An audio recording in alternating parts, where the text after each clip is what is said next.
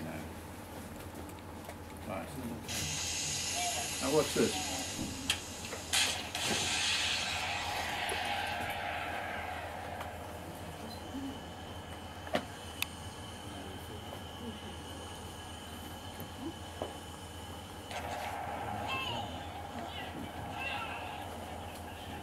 Now watch this.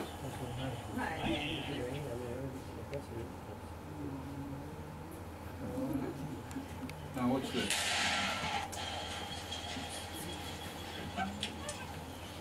Uh, that was a tank. That was destroyed by a missile which has a warhead about the size of an aubergine. Right? You know an aubergine? About this big. A bit bigger, anyway. A little bit louder, I think. Okay. This was a tank. And it- you know what a tank... Uh, I mean, I'm going to show this again because this is a very important piece of, of film. This is a new weapon. It's a small weapon which is used on the ground. Chris, we're going to put it on. Yeah, yeah, sure. Okay. All right. Now the important thing is, watch the last piece, the last, the last one of these. We're going to see the tank being destroyed now. Here we are. Now look at the next one. Okay. Now what sort of machine can do that? I can tell you, there is no normal weapon that can totally destroy a tank like that, which is which is this size. So we have to consider that there's something happening out there, which is a new weapon, which is uh, which is not the conventional weapon that was used against tanks. And that's why I wanted to start with this, to to to to to, to, to raise the issue. Which is at the back of all of the things that I've been researching for the last 15 years, perhaps, certainly since the Gulf War veterans first appeared with strange illnesses. And I'm going to talk a bit about the research that I have done to try and investigate what this weapon is and what's going on. Now, there are many, many organizations that are concerned about depleted uranium. Many. And so we started off thinking that depleted uranium was the cause of the Gulf War syndrome and the cause of the uh, increases in cancer and the increases in congenital malformation and various other conditions with a genetic basis that were being reported from Iraq, which is where depleted uranium weapons, and they were depleted uranium weapons then, were first used. These are little bullets or tank shells which consisted mainly of depleted uranium. That's all it was. It was just one big lump of depleted uranium and you fired it at a target and when it hit the target it exploded and produced lots and lots of very fine nanoparticles particles which were so small that they became aerosolized. They were like a gas. So they're not like a, they're not like sand. They're, they're not like any particle that you can imagine. It's, it's just exactly like a gas. And the size of these particles is so small that they can travel through the skin. So there's not just even necessary to inhale them. They will pass through any filter that you can use to try and protect yourself from them and there's no argument about this because tests have been made at various uh, military bases and we've got the results of those tests and we know what the size of these particles is and we know where they can go. Now I've been to Kosovo to measure this stuff. There's one of the tanks. That was a similar tank to the one that was just blown up. And there's, there's, there I am in Iraq looking at it. It stays in the environment for a very long time, again in Kosovo. So let's just briefly go through the history of my involvement with this stuff and the history of everybody's involvement with this stuff. It was first used in any warfare in Gulf War One. And by 1996, the Gulf War syndrome was being uh, manifested in troops who had been involved in the, uh, uh, in the Iraq War. And then later on, of course, some of the troops from the Balkans started developing the same symptoms. At that time, I was, uh, and still am, um, a director, scientific director of the Low Level Radiation Campaign, which is an independent NGO. And what the Low Level Radiation Campaign is concerned about is to ensure that people realize that internal radiation uh, is much more dangerous than external radiation. The external radiation being like X-rays that you have in a hospital, or, or even an atom bomb where you get gamma radiation over your whole body. And the reason for this is that internal radiation produces effects which are local. So you can have a very high dose in one place and no dose somewhere else. And currently, the way in which radiation is measured is measured in such a way that it's diluted into your entire body. So when people will tell you, and the military will say to you, that depleted uranium cannot be causing these effects, it's on the basis that the absorbed dose, the radiation dose from the uranium, is very, very low. And of course, to the whole body, the radiation dose is very low. But the trouble is that the uranium is not in the whole body, it's in one cell. So then, because of a lot of arguments with the Gulf War veterans, and I, and I was uh, asked by the Gulf War veterans to advise them, eventually the Royal Society in the United Kingdom came in and the United States set up a congressional committee to look into the issue. But they gave, th- their response to it was much the response that I've just given you, that on the basis of the current risk model, the current model for radiation risk, the, the, the, the doses are much too low to cause any of the effects. And, and uh, I managed to persuade the United Kingdom Environment Minister, Michael Meacher, that this was uh, a big problem, that the internal radiation, external radiation problem real, and he set up a committee, and we made various theoretical arguments in this committee, which were all ignored. And then at the same time, the military set up a uranium oversight board, which I was also a member of, and, and the results of that um, were, were just arguments. And then round about the end of, uh, of the 1990s, uh, Professor Durakovic managed to take samples from some Gulf War veterans and he had them analyzed in Bremen by a lady called Heike Schroeder, and they showed that there were huge increases in chromosome damage, and chromosomes, you know, associated with genetic material, in the Gulf War veterans. So something was causing this genetic damage in the Gulf War veterans, and of course we all argued that it was depleted uranium exposure to these aerosols. I was involved in another court case, which was lost because there was no money. Then I went to Iraq and to, and to Kosovo, and I talked to the cancer um, oncologists. You know, I went visited the hospitals there and looked at the data, and it was quite clear that, that the uranium we assumed was causing big increases in cancer, especially in leukemia in children. Then a study occurred in 2001. The Italians started to look at the veterans of the uh, peacekeepers in the Balkans, and they found that there was a big increase in lymphoma. So then, by 2006, we had had the Gulf War, second Gulf War, and we discovered in the filters in the United Kingdom that this material, this, this radioactive material, the, the, the uranium, was coming all the way from Iraq to the United Kingdom. It was picked up in the filters, and there was a big peak in the filters at the time of the second uh, uh, Gulf War. So, the, so that showed that, that, that it didn't stay put on the battlefield, it, it travelled all over the place and it affected everybody. Then by around about that time also, I developed a, a theory about how, how this works, which I'll come to later on, called the secondary photoelectron effect, which has now generally been accepted uh, as, as being real. And I'll talk a little bit about that later. We found high levels of natural uranium in the troops who had served in the Second Gulf War, but it wasn't depleted uranium. So the first sign that we were seeing was that there was a, a lot of uranium in the urine, but it wasn't depleted uranium. And everyone was saying they hadn't used depleted uranium. So then we got to, uh, there was a coroner's inquest in 2009 in which I argued uh, that the uranium would cause the cancer in, in, a, in a veteran, and we won that. The jury took a decision to say that the, that the uranium caused the cancer. Then in 2006, we started to, to find enriched uranium in the Lebanon. We went to a big bomb crater there that was slightly radioactive, and we took samples, and we looked in an ambulance filter, and we found enriched uranium. And that was the first time that it seemed like there was something odd about this whole question about depleted uranium, that it was no longer depleted uranium that we were worried about. It could be something different.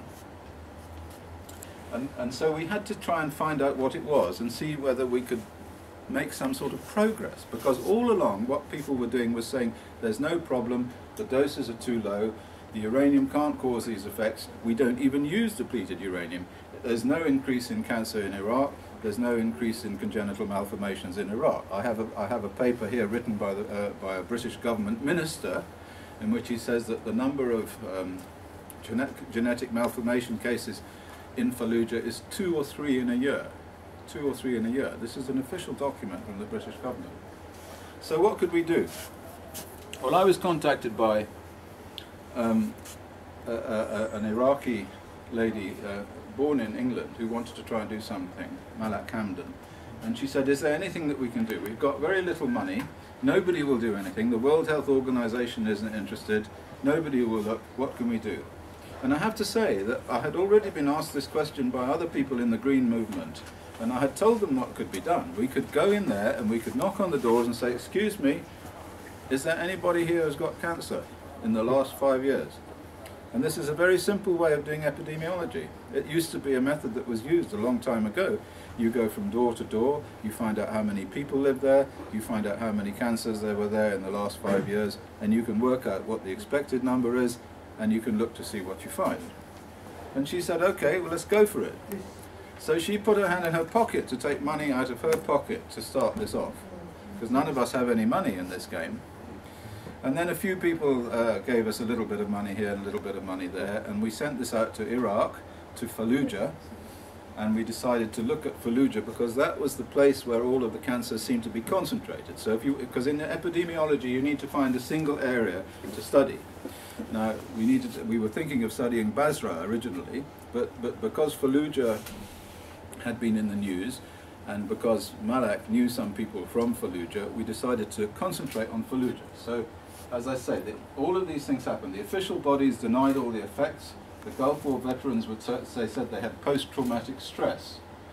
Uh, there were increases in cancer that were denied, but and no studies were done, done to see if there if there were any if there were any real levels of cancer. The the WHO sent somebody out there, and they reported that the that the Iraqis didn't have proper computer systems, and therefore couldn't use couldn't keep proper records, and therefore they, they, they wrote off all of these questions of increases in cancer. So they called them anecdotal. So we had to decide to see if we could do a study, and we did this. And also, of course, I have to say that there were a lot of black operations against researchers, and the infiltration of the green movements, and computer hacking, and funding support loss, and all sorts of black ops were taking place throughout all of this. Now, this is something that I don't like to do, but I think you have to see the kind of thing that's happening here and why we're concerned. Because these sorts of malformations are very rare. And so what's happening here is something that's not normally a congenital malformation. There's something very strange going on here. I, I don't want to upset you, so I'm going to put that over quickly. Pardon me, where was that from? This is Fallujah. That was from Fallujah. That was a, a, a birth in Fallujah. And I've got I've got a computer full of the pictures that are just as horrible. You know, so I, I don't like this because it, it, it but, but it's necessary. It's necessary to realise that there are some. One of yours, is it? We just need to see the photo again, please. You sure? Yeah, that. Thanks a lot. Okay. They wanted to take a photo oh, of it, they? yeah? Sorry, well there you are. Take a photo of it. Yeah. It's okay, we have done it. It's You okay, all we right? can go on. Okay. Another one?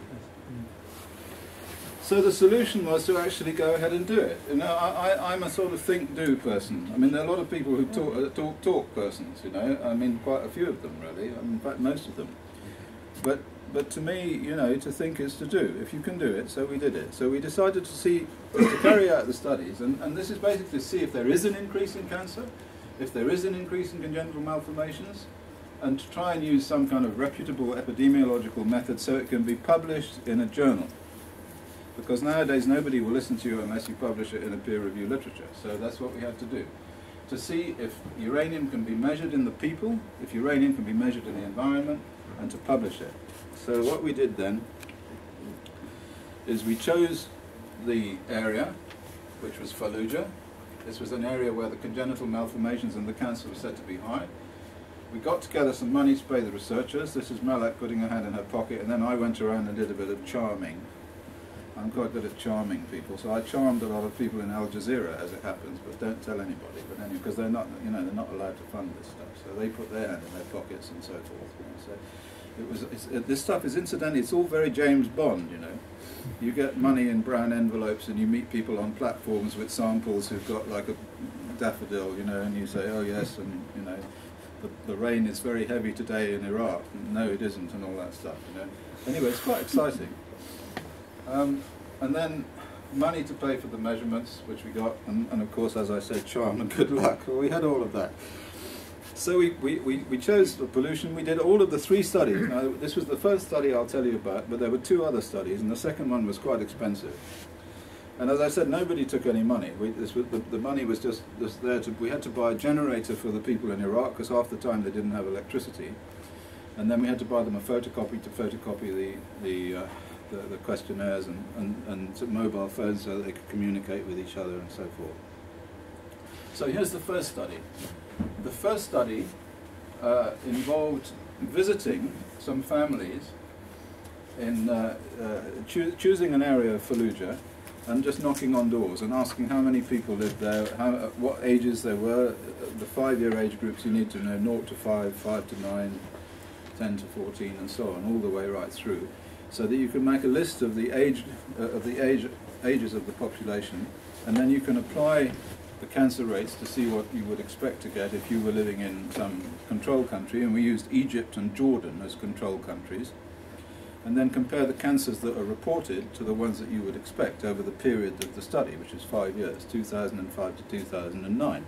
So this was published in, in the International Journal of Environmental Research and Public Health, which is a respectable Swiss journal, and it was reported in all the major news media and had more than 18,000 downloads from the journal website, which is quite unusual. This, is, this meant it was, a, and it's all over the internet.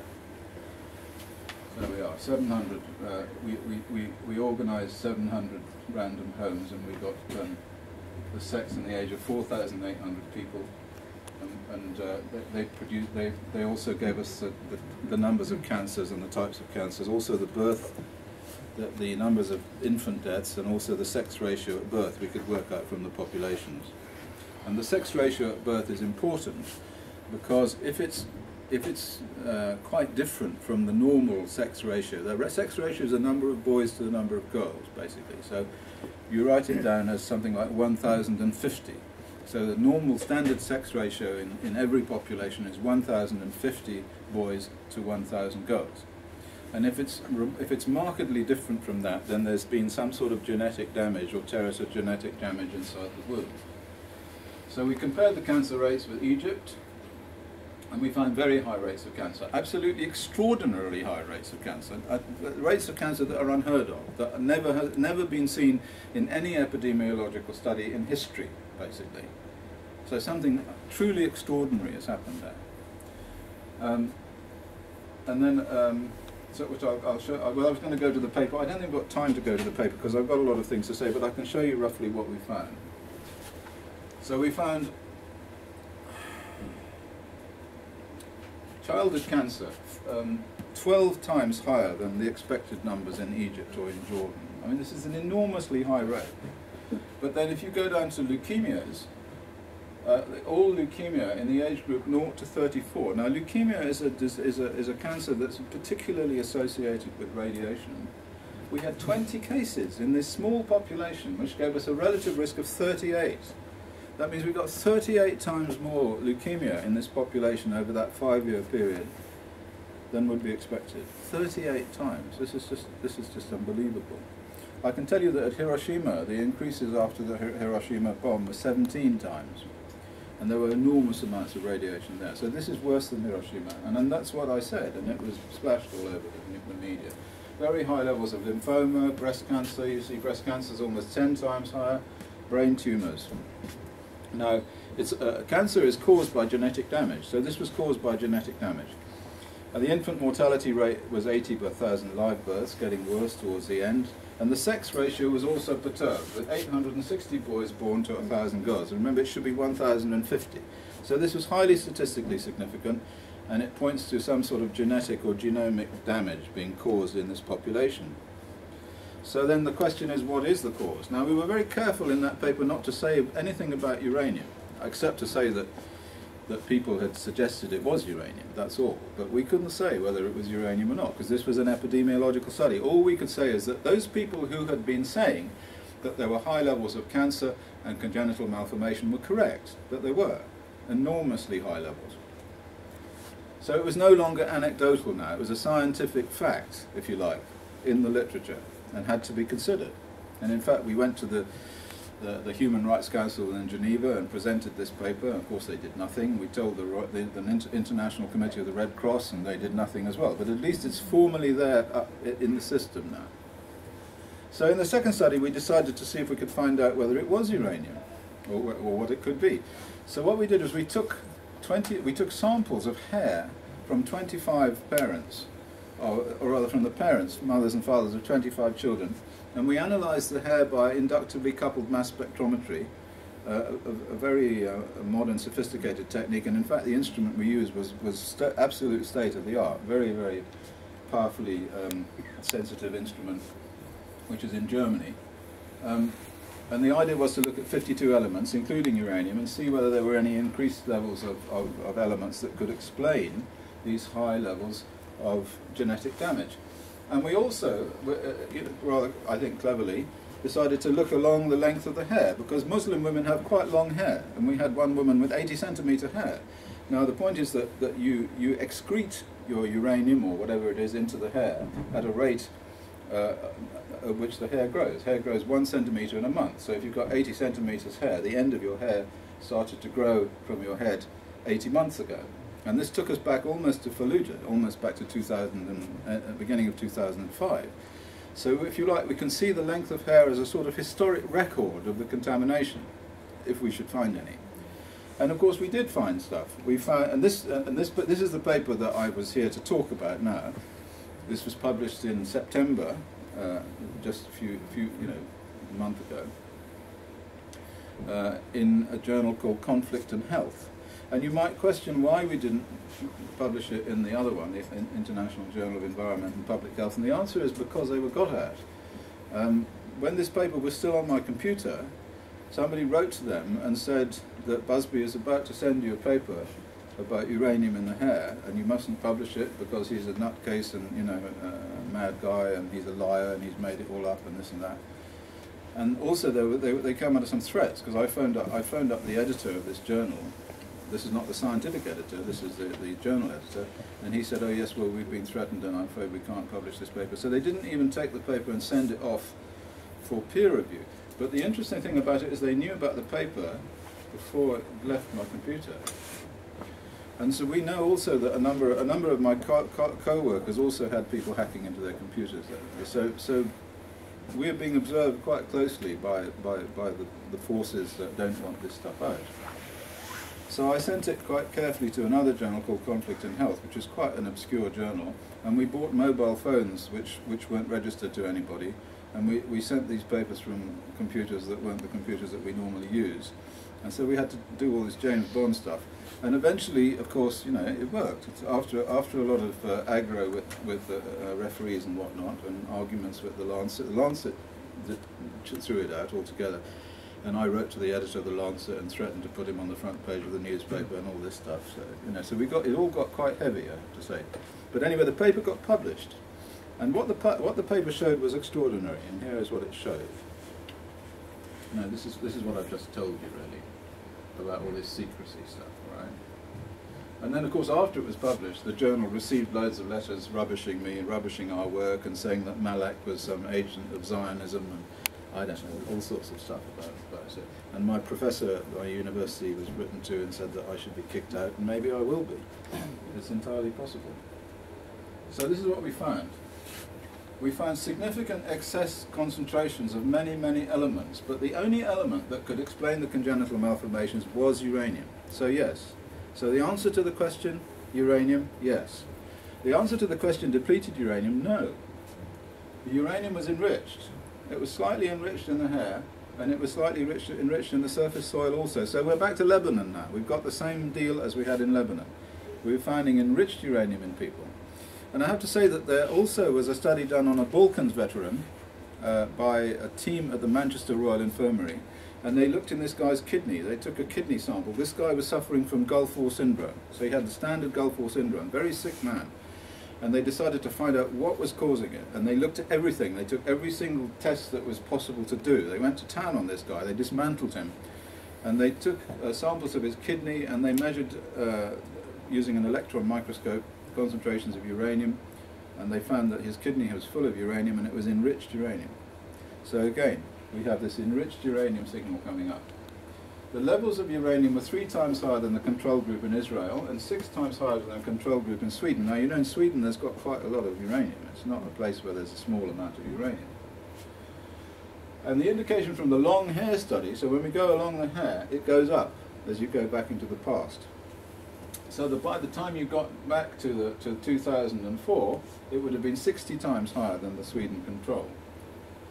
So, so, the, so the answer to the question is, it's, is, is what's causing this, this is most likely, we can't say for sure, because maybe there was something else that we didn't find or we didn't look at or whatever, but the most likely explanation, since we know that uranium is, is a genotoxin, does cause genetic damage, we found enriched uranium at very high concentrations in the, in the parents of these children with congenital anomalies. So the most likely explanation, in England what we call Occam's razor, we look for the most likely single explanation, that is it, that the uranium caused, caused it. So then the question is, could it have been a, a nuclear bomb?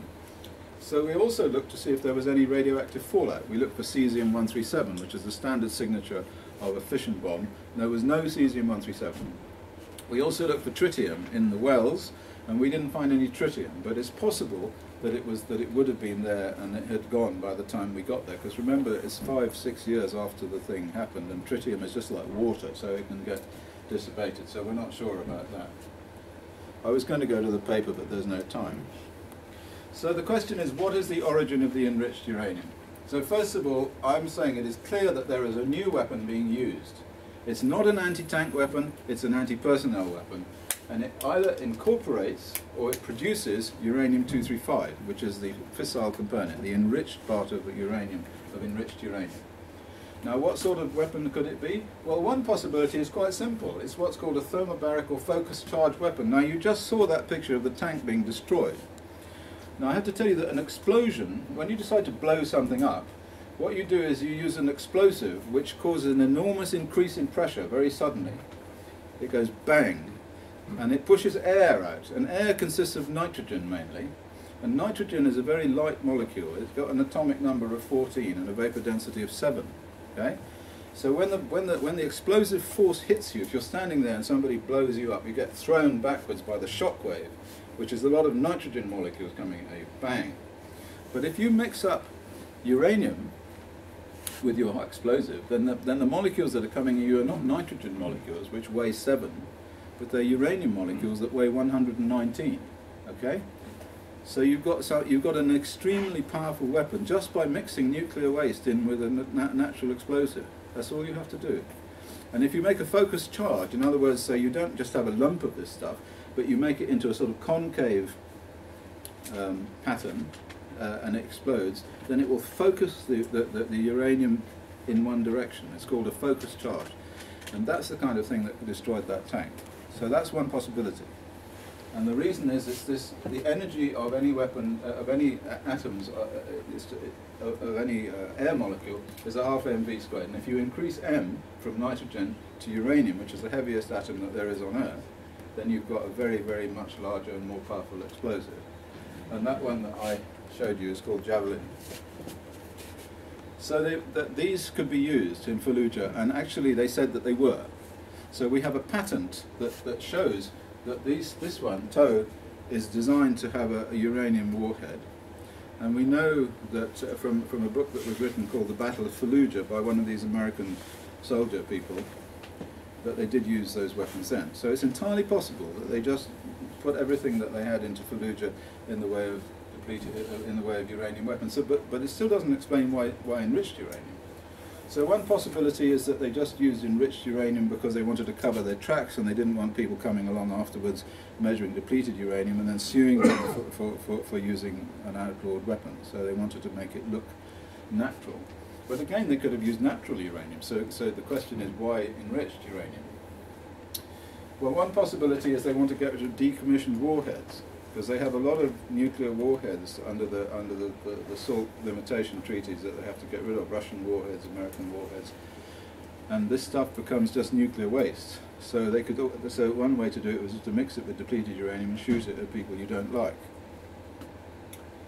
Or finally, and this is an entire possibility, is an entirely new weapon, a cold fusion neutron bomb, which the Russians called red mercury and which they said that they had in the 90s.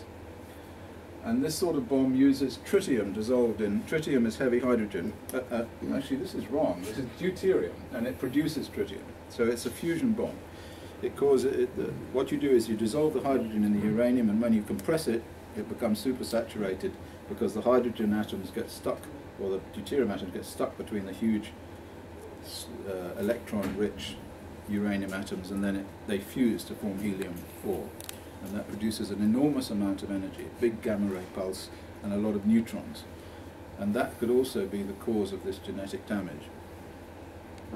The third paper, how are we doing for time? We done? We better just do the third paper. All right.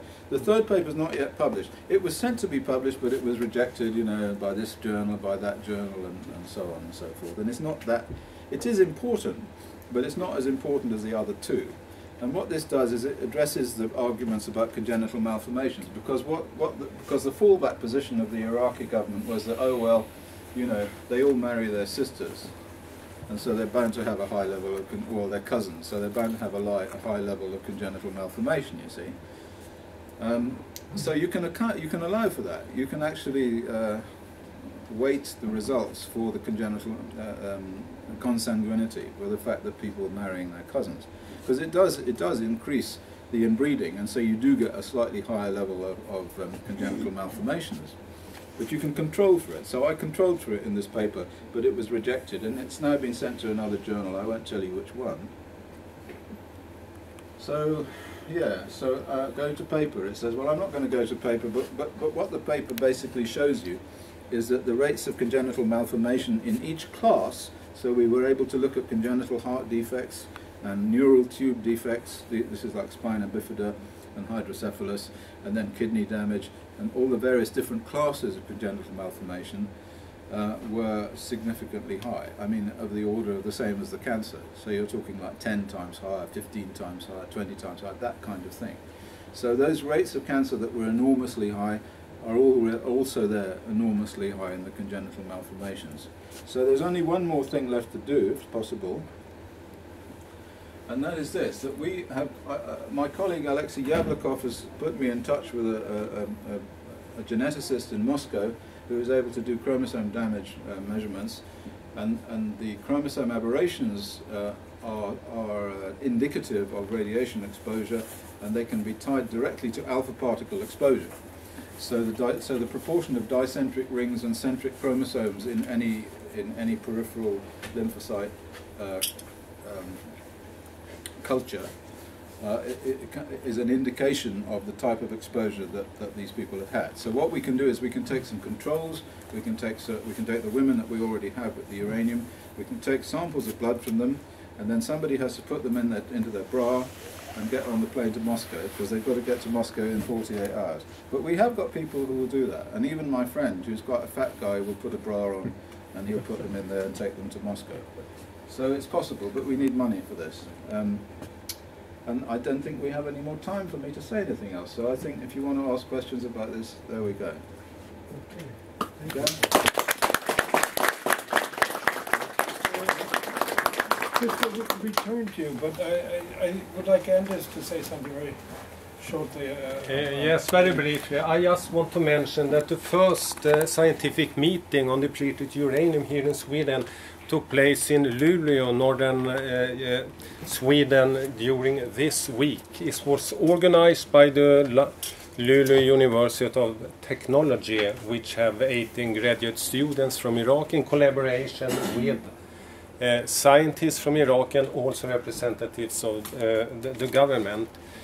Uh, at the meeting, the, the recommendation was uh, issued in uh, Unity by the scientists directly to the representatives of the government, briefly confirming the picture of a largely increased rate of congenital malformations in Iraq. Secondly, that uh, many sites, up to 300 uh, uh, or places in Iraq had been contaminated by depleted uranium. It's a large environmental uh, problem. It is also said that uh, this was due uh, uh, to the wars in, in these recommendations from the scientists, which uh, uh, urged or uh, asked the government to take various kinds of action, ac- uh, actions to re- re- remove in the best way uh, the contaminated soils, uh, to uh, support further scientific studies in this, to inform the public uh, also. It was also mentioned here that, so to say, um, the recommendations you were in line with uh, a resolution taken by the great majority of uh, member states by United Nations one year ago. There was one stage, 148 states supported it, four states were against it. I say here more as an engaged private person. United States, Israel, French, and United Kingdom, and Sweden abstained from taking a stand here. Well, so briefly, uh, the first, this first scientific uh, meeting gave a similar picture of the situation. Uh, um, the, the, it was here suspected, so to say, that depleted uranium might be a cause, but also enriched ur- uranium was mentioned, uh, but would uh, also ask for further scientific proof, and not least by uh, representatives of the This government. is, uh, I just Okay. thought I'd put this up. This, this is the, the paper on congenital malformations, and these are the rates. So these, these are, these are, this is the crude rate, that's the European rate. So that, so you can work out the expected number and the relative risk compared to the European system. And this is adjusted for consanguinity. So what we've done is we've taken the populations of Pakistan and Iran and uh, uh, various other Arab countries where they do have uh, a culture of marrying their cousins. And so people have studied this, and they've studied people who've married their cousins and compared them to people who haven't married their cousins in the same population.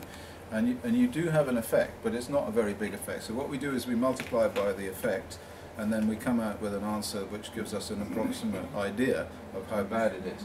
And you can see for congenital heart defects, it's about five times higher than it should be. Um, and for some of these, a particular kind of heart defect, you've got you've got ten times higher. And these these are these are standard ones. See, look here's ear, face, and neck. So you saw this one with the with the, the single eye with two pupils. That was an ear, face, and neck one. So you've got very high level of that, eight eight times, and and then digestive system seven point, nervous system nine times. Um, these are all heart defects. So uh, the point about this is this is real. This is one pediatrician who we asked to write down all of the defects, all of the congenital malformations for one year that went through her particular pediatric um, consultancy, and she recorded all of them. And so this is the result of that. So this is, there's, no, there's no argument about this. This is not anecdotal evidence at all. This is real. Uh, and I think we kind of thought it would be anyway, but at least you know this this is official. So if we, when we get this published, so that will be one more paper that they can ignore. Um, Before we discuss these shocking findings, Sigan Leader from the say something. I will say in Swedish. Att förstöra